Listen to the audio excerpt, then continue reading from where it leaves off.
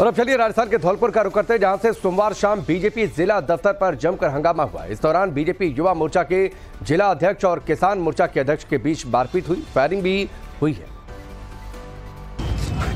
धौलपुर में बीजेपी कार्यालय के बाहर फायरिंग से सनसनी फैल गई।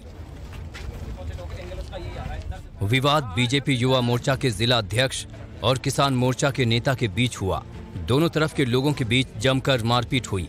इस दौरान फायरिंग भी की गई। मौके से गोलियों के खोखे बरामद किए गए हैं। बीजेपी कार्यालय के बाहर हुई फायरिंग में चार से पाँच लोग घायल बताए जा रहे हैं। बीजेपी युवा मोर्चा के जिला अध्यक्ष भूपेंद्र घुरैया के सिर में चोट लगी है, जबकि किसान मोर्चा के जिला अध्यक्ष धर्मेंद्र उर्फ़ मांगे कसाना के भाई के पेट में गोली लगी है। दोनों को अस्पताल में भर्ती करवाया गया है। खुद एसपी साहब आए हैं दो पक्षों में झगड़ा बीजेपी कार्यालय में झगड़ा हुआ था पक्षों में।